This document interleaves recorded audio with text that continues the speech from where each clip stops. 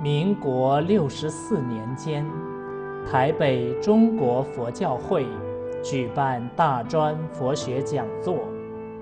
在那个大学录取率只有百分之几十的年代，大学生来学佛是很难能可贵的一件事，故被佛教界所重视。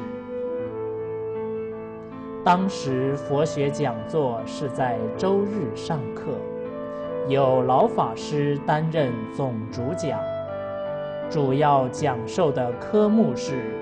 佛学概要十四讲表，参加者多为北部大专院校的佛学社团学生及少部分居士。记得有台大、政大、师大、辅大、淡江文化、海洋学院、名传、世新。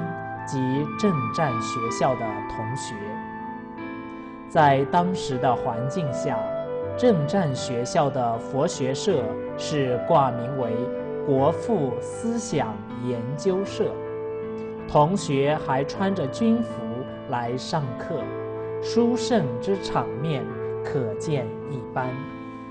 七十年代时，还没有景美的华藏视听图书馆。老法师也还不到五十岁，讲经是借用居士的住宅与办公室。当时固定讲经道场有四处：一是台北车站附近的南洋街道场，原是前基隆煤矿李太太家的后院宅子，房子不大，布置简单。每周一三讲《大方广佛华严经》，周二五讲《普贤行愿品》。二是中华路的前今日百货大楼办公室，是由某会计师提供其办公室作为讲经道场。在办公室以外的空间摆椅子。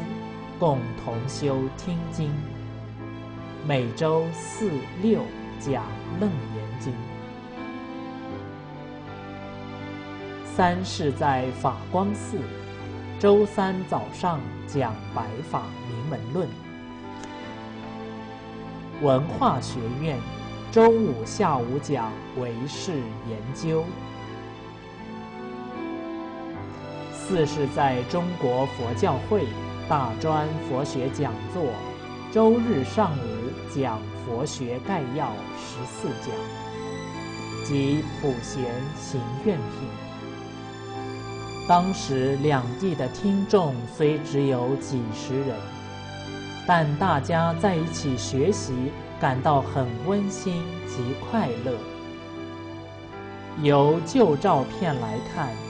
好像老法师当年的相貌比较严肃些，而现在的相貌则让人感到睿智与慈悲，尤其甚具摄受力及亲和力，辱目之情不由而生。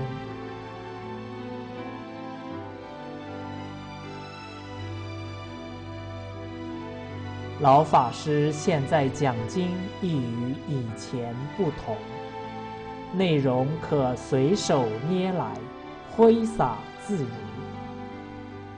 往往感人至深，亦得法喜，闻者均受益。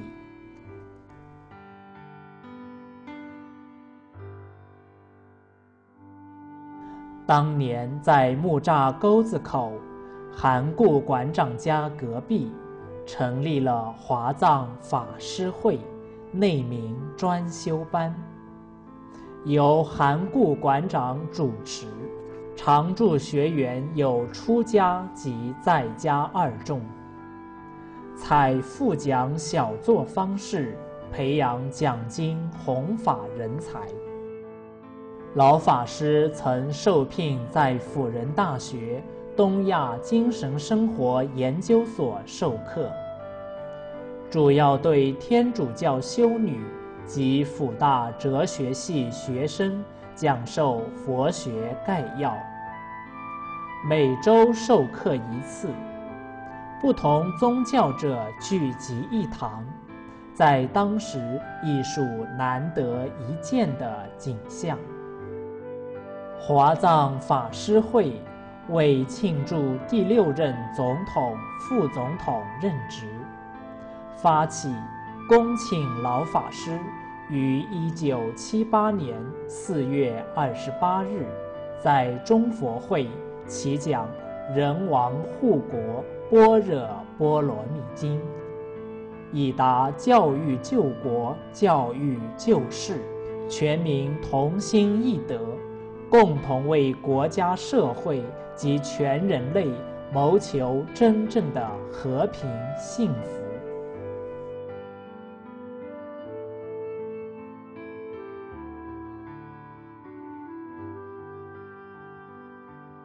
大家可由下面照片中老法师面前那几台老式笨重的录音机推想当年文法的不易，所以当时大家都很重视及把握文法的机会，绝不轻易放弃。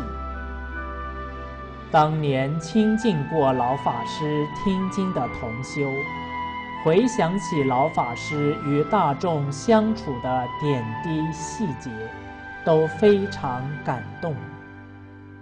老法师非常慈悲，遇到任何人，哪怕对他不恭敬，他都不予计较，并借以实施机会教育，并且十分爱护与照顾学生。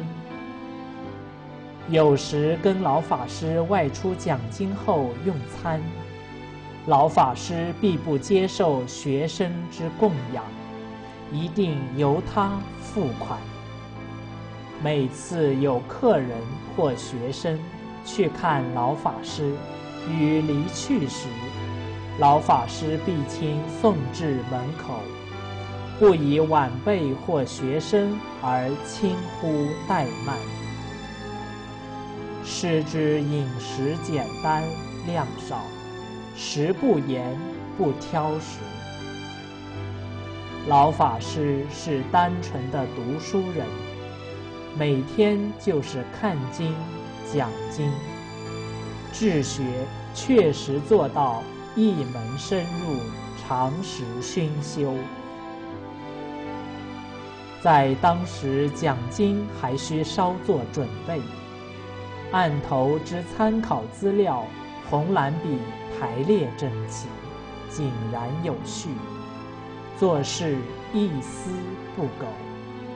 老法师与学生间，除关怀学习、生活及佛法讨论外，不说无益的话。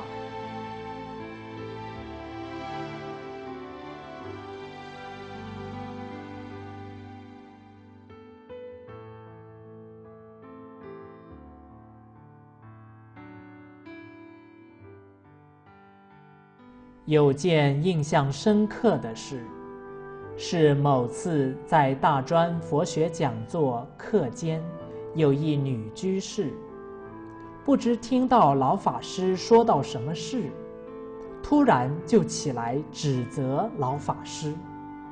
想不到老法师并未辩驳，只是下台跟这位女居士顶礼后离去。当天晚上讲经时，亦未提及，好像没事一样。由此可见，老法师当年的忍辱功夫。老法师对个人日常生活之事，都是亲力亲为，不需别人照顾与服侍。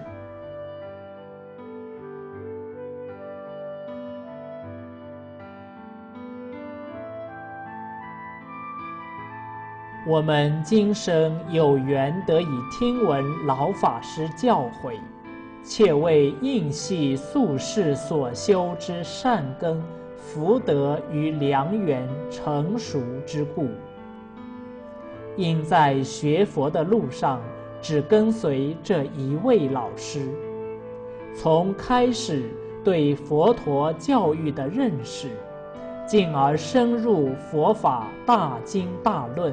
对理事性相、因缘果报之理论，以及到一生成佛的净土法门修学方法等等，都是依循老法师的教导为准范，故特借此前尘往事，以表达对老法师教导恩德之感念，并让同修们了解。三十年前的老法师，迄今一路走来，始终如一。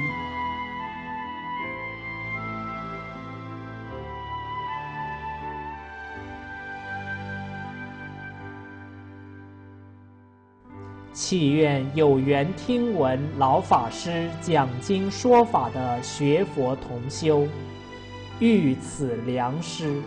应该珍惜把握，效法老法师的志业与行义，要依教奉行，老实听话，真干，以真信切愿，一心念佛，往生西方极乐世界，方能报师恩、佛恩于万一。仅于此，恭祝老法师光寿无量，常住世间，转大法轮。